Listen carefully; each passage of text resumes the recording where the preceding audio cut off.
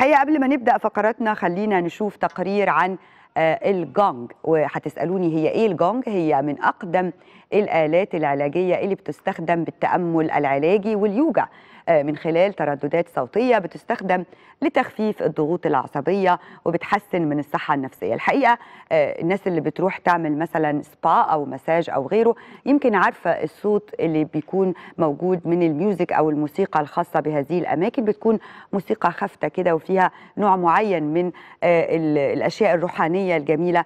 آه، خلينا نعرف أكتر عن فوائد الجونج واستخداماتها مع مدربة آلة الجونج نادية سراج في تقريرنا التالي. ونرجع نستقبل آه، أول ضيف في فقراتنا النهارده ال- آه، طبعا الرسام التشكيلي الكبير والكاريكاتير جورج البهجوري.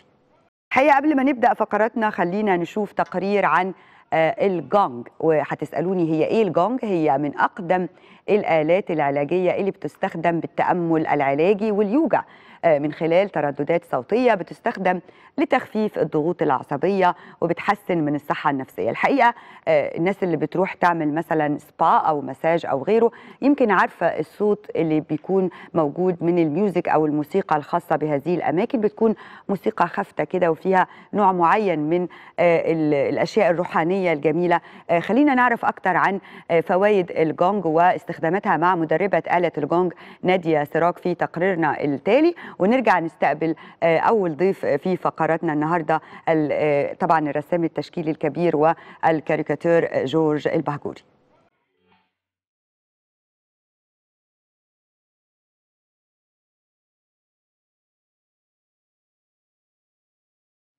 الحياة بكل ما فيها بتضع الشخص تحت تأثير كبير من الهموم اللي بتخليه فريسة لضغوط الحياة. علشان كده بنحتاج إن إحنا نتعلم فن الاسترخاء زي الكونج أو العلاج بالموجات الصوتية للوصول لحالة التأمل. الجونج آلة قديمة قوي يعني بقالها آلاف السنين آه، بتستخدم في التبات. آه، هي آلة نحاسية. وبيستغرق آه، الناس من ست شهور لسنة إن هم يصنعوا واحدة ويتونوها. آه، هي بتحاكي أصوات الكواكب أو ترددات الكواكب. يستخدم في اليوجا في بعض أنواع اليوجا زي الكونداليني يوجا آه، لكن هو ما هواش آه، يوجا في حد ذاته. هو يصنف أكتر آه، في الحاجات اللي هي الاستشفائية.